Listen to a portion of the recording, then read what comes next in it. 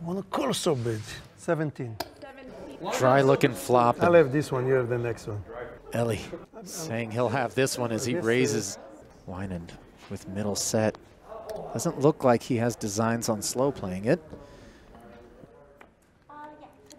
Nine on the turn, six, seven got there. Oh.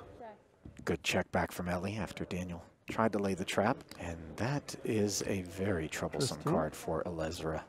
An almost full pot size bet on the river out of Daniel. And you can just feel Elezra doesn't love this at all. I'll show you if you fold. Ooh. I want to call so bad. Yeah, I just give it. To you. Nice. Don't show me. You don't want to a see? it? bluff. I know it's a bluff, so I don't want to see it. Wow. Nice. Good fold.